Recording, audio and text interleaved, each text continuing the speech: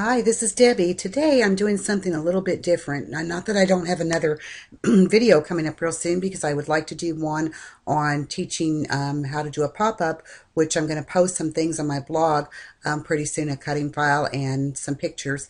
But right now I wanted to share this little trick with you. Um, if you have Photoshop, and I know many of you do, I wanted to show you um, what I came up with.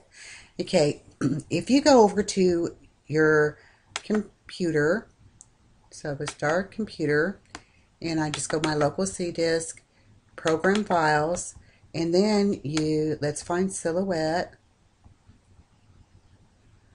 There we go, Silhouette Studio. And you click open your resources file, and then this resources file again.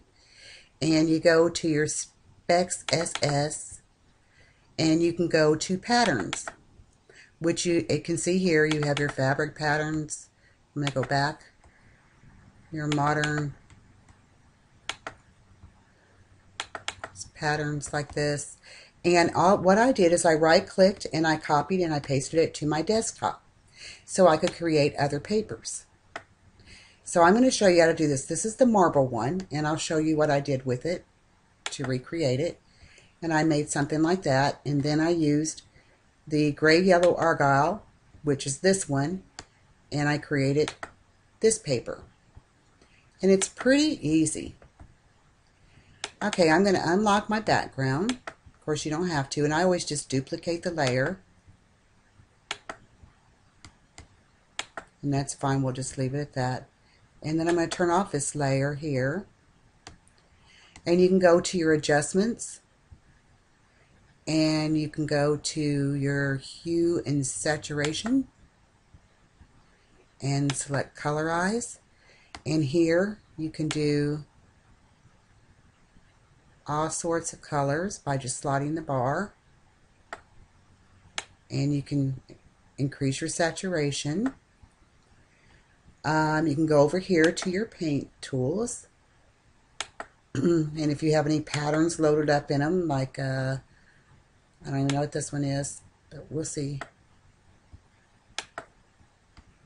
Yeah, this nice little swirly one. So if I select that, and let me switch this color to white. And I'm going to lower down the size of that. Excuse me. I always seem to get um, should be filling up white.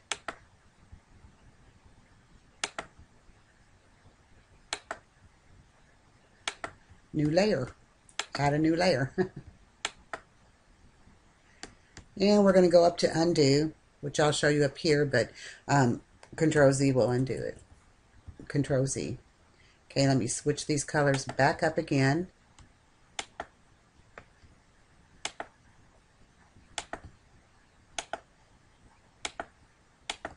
And I'm just doing, you can take your time and do lots of creative things with your files that you want to.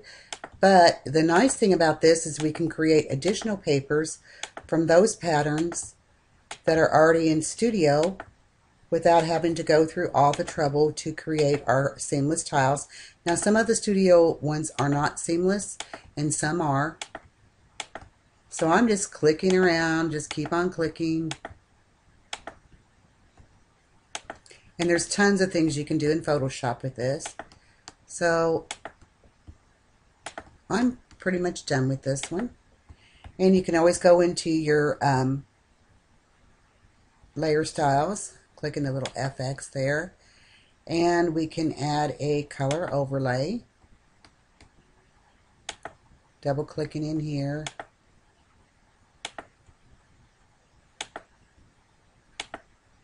I actually think I like it at white.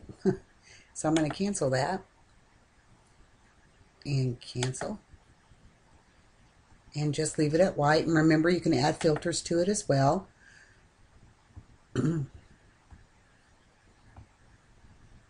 Let's check out spatter.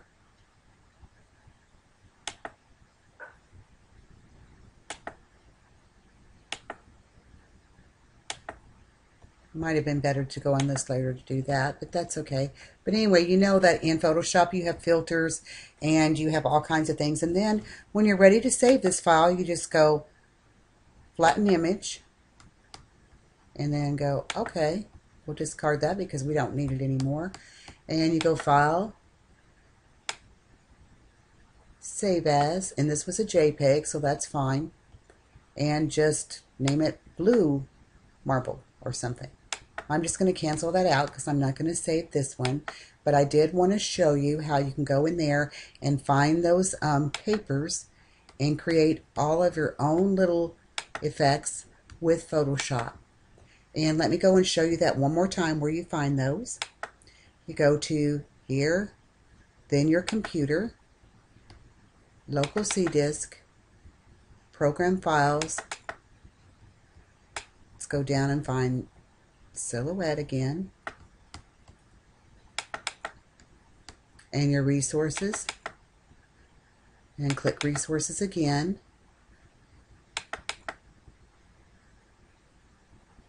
And I never looked in this file. Hmm. I'll go back. Nothing in there. Okay, and then patterns. And each one will have different patterns that you can just drag onto your desktop or right click copy and paste onto your desktop and then open it up in your Photoshop to create your own custom papers.